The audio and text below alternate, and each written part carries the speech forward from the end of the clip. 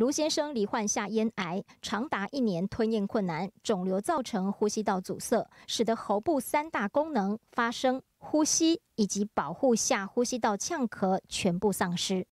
下咽就是咽我们咽部的最下面的地方，接连食道的位置，所以它就在我们的呼吸道喉部的旁边。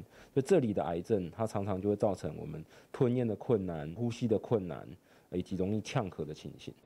医师建议，既然喉部功能完全丧失，留着压迫呼吸道，还不如全喉摘除，重建咽部之后不再呛咳，饮食直接进入食道，不影响前面的呼吸道。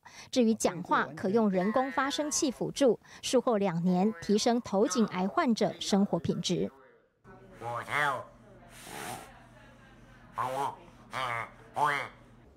台湾头颈癌发生率远高于全球平均，和生活饮食息息相关。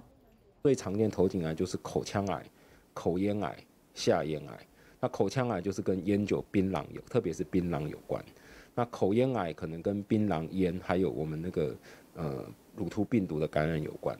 那下咽癌大部分是烟还有酒的因子成分比较高。避免接触烟酒。槟榔施打乳头病毒疫苗都能大幅降低罹患头颈癌的发生。大爱新闻李亚平、郭继宗台中报道。